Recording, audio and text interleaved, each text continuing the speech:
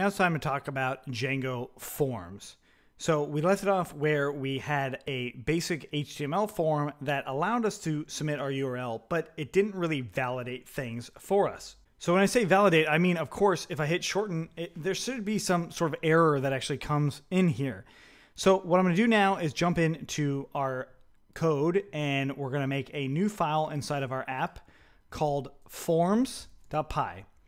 Now, Forms is not a required file for every app, but when you need a form, this is where you put them. You put them in forms.py. That's not, uh, even where you're putting it is not required. Like you could call it abc.py, but forms is the convention and that's best practice. So that's what you're going to want to do. So we're going to do from Django import forms. And we're just going to create a class and we're going to call this submit URL form. And it's going to be forms.form. And we're going to take it one actual field, and that's going to be forms.char field. You know, this is a, not a whole lot different than what we saw with our models. And that's it. That's all we'll have for now. And I'll just, actually, I'll add in a label. And we'll say submit form. Or submit URL, excuse me. Okay, so we now have this. Let's go ahead and import this into our views. So a relative import because it's inside of the app. So from dot .forms import submit URL form. And now in this home view, we are going to go ahead and add this form in. I'll say form equals to submit form. We'll do submit URL form just like this. Um, but I also need to put it in the get call. So I need to put it in the post and get.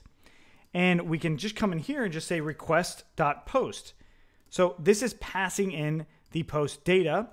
And we can just say if form dot is valid, print form dot cleaned data.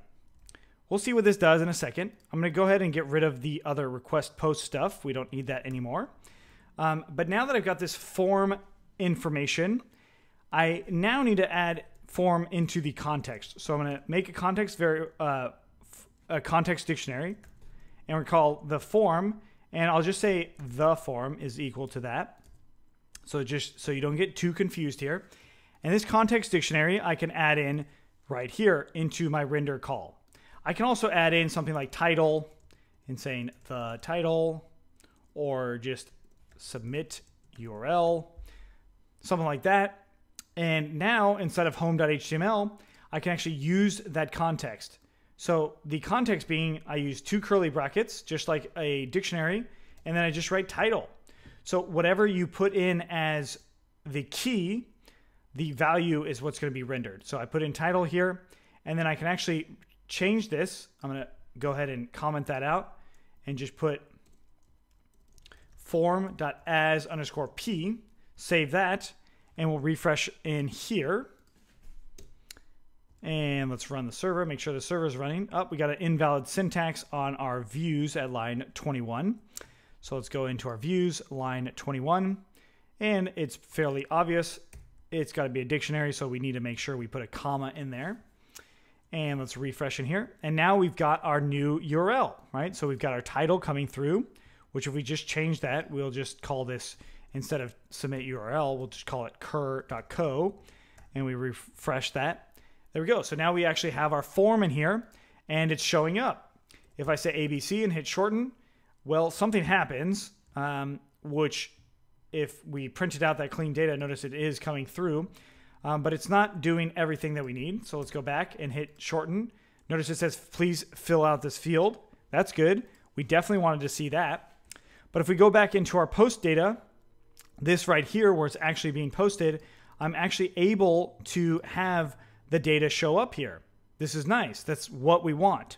So here I'm going to actually add in context and we're going to put that form back in. So form is equal to that form, right? And then we'll put this context in here. Save that. We'll refresh in here and hit shorten. ABC. Notice it comes back, but it's actually um, not doing anything, right? Didn't go away. It just showed that form. So we can also put the title in there as well. So we can actually use that same sort of context almost and just put form as the actual one that's coming through. We refresh, hit continue. Notice that the submit button is still working.